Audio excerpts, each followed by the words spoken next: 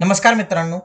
आत्ताच्या घडीची आयोगातून सर्वात मोठी इम्पॉर्टंट बातमी आली आहे की सीसॅट आता हा क्वालिफाईंग असणार आहे आणि सीसॅटमध्ये फक्त तुम्हाला तेहतीस टक्के गुण मिळवणे आवश्यक आहे.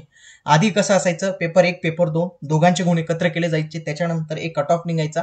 आणि असा आरोप केला जायचा नेहमी की इंजिनिअरिंग बॅकग्राऊंडवाले सायन्स बॅकग्राऊंडवाले जे असतील तर त्यांना याचा खूप फायदा होत होता. आता बघा आता अशी जी अट आहे तर ती काढून टाकल्यामुळे काय होईल? की सगळ्यांना आता समान पातळीवर आणण्यास मदत होईल आणि जे मराठी बॅकग्राऊंड मधून येणारे असतात जे बी ए बॅकग्राऊंड मधून येणारे असतात तर त्यांना सुद्धा आता फायदा होणार आहे.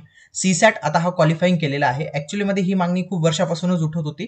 जेव्हा युपीएससीने सीसॅटला क्वालिफाईंग केलं तेव्हाच एमपीएससीने पण करायला हवं होतं. त्याच्यानंतर खूप साऱ्या स्टेटने सुद्धा सीसॅट क्वालिफाईंग केला होता. फक्त महाराष्ट्रच असं एकमेव राज्य उरलं होतं की जिचे सीसे सीसॅट हा कट ऑफसाठी गृहित धरला जायचा. तर आता बघा शेवटी आयोगाने भूतोना भविष्यती असा निर्णय घेतलेला आहे आणि सीसॅट आता क्वालिफाईंग केलेला आहे.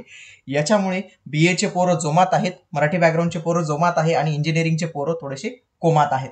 ओके तर बघा आयोगाने म्हटलं काय प्रसिद्धी पत्रकात ते बघूया.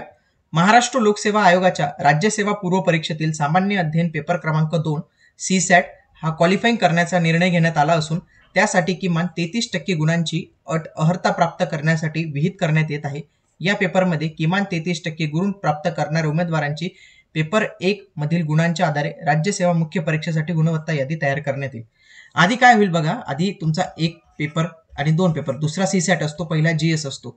आता काय होईल की आधी सी सॅट पेपर चेक होईल तुमचा. जर सीसॅटमध्ये तेहतीस टक्के पेक्षा जास्त गुण आले तरच तुमचा जीएसचा पेपर चेक होईल. नाही तर जीएसमध्ये किती गुण आले पैकीच्या पैकी तरी तुमचं होणार नाही आहे. तर याचे काय परिणाम होऊ शकतात तर आता आपण थोडंसं जाणून घेऊया. बघा परिणाम असा होईल की सीसॅटचा पेपर हा थोडा आणखी टफ होईल कारण की तेहतीस टक्के गुण तर इझिली मिळू शकतात कोणाला पण. म्हणून सीसॅटचा पेपर हा आता थोडासा टफ करतील अवघड करतील. अवघड असेल म्हणजे लेंदी जास्त असेल. त्याच्यानंतर जीएसमध्ये जबरदस्त प्रश्नांमध्ये व्हरायटी बघायला मिळेल आपल्याला. खूप जबरदस्त कारण की सगळ्यात जास्त कॉम्पिटिशन आता हा जीएसमध्ये असेल. एक एक मार्क एक एक प्रश्न हा फार महत्त्वाचा असणार आहे. म्हणून जीएसचा पेपर सुद्धा अवघड केला जाऊ शकतो. त्याच्यानंतर आयोगाने असं पण सांगितलेलं आहे की सदर निर्णयाव्यतिरिक्त राज्यसेवा पूर्व व मुख्य परीक्षेच्या स्वरूपात अन्य कोणताही बदल सध्या परिस्थितीत करण्यात येणार नाही.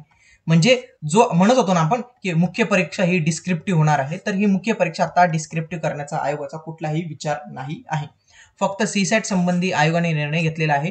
याचं खूप सारे विद्यार्थी आज स्वागत करत असतील आणि जे वर्षभरापासून सीसॅटच्या अपेक्षेवर असतील ज्यांना सीसॅटमध्ये एकशे पन्नास चांगले मार्क पडतात आणि ज्यांचं जी एस कमजोर आहे तर त्यांना आता थोडीशी जास्त मेहनत करावी लागणार आहे जी एसमध्ये आणि ज्यांचा पूर्ण धंदा ज्यांचा पैसाच हा पूर्ण सीसॅटवर चालत होता असे खूप सारे शिक्षक असे खूप सारे व्यक्ती जे आहे सध्या थोडेसे कोमात जाणार आहे.